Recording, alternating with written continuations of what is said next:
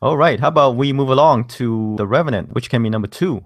It did nearly 32 million this week, only a 20% drop off. After two weeks of release, it's already made 90 million at a really high budget of 135 million. So it looks like it's going to make that back and more. You know, the Golden Globe win and the Oscar nominations definitely helped it. I mean, if you count the the four day weekend, it didn't. There was no drop off at all. I mean, the four day weekend it made 39 million. Yeah, I'm surprised how well it held up. Remember the last podcast you say that the Revenant could hold the number one spot, and yeah. it almost did. Yeah, mainly because of the Golden Globe win and the Oscar nominations together really helped it. Yeah, I'm just surprised how well this movie is holding up. Same here, same here. I mean, at, at a budget of 135, it really it looks like a you know a blockbuster budget for an indie movie. The first week that it went wide was what it did 39. Yeah. Right.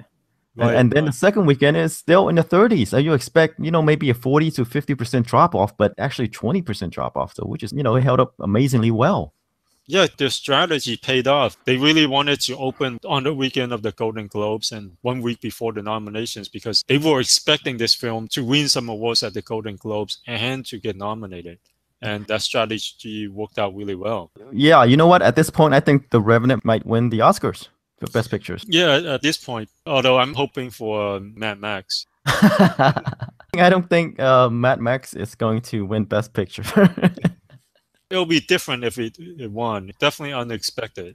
It, it would be different, but the Oscars are not about being different. I guess it's about being the safe choice. But anyway, uh, the Revenant held up really well.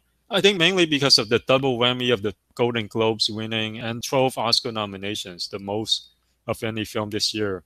Although Mad Max isn't fall behind, Mad Max was nominated for 10, which was a, a, surprise to me too. I'm not sure if The Revenant doing so well in theaters can be attributed mostly to the um, Golden Globe uh, win, though. I mean, there are other movies that have been nominated and won, you know, and it didn't hold, you know, hold up as well. I think that the fact that it held up so well, I think the Oscar and the Globes did have some effect. I think so, but hey, you never know. All right.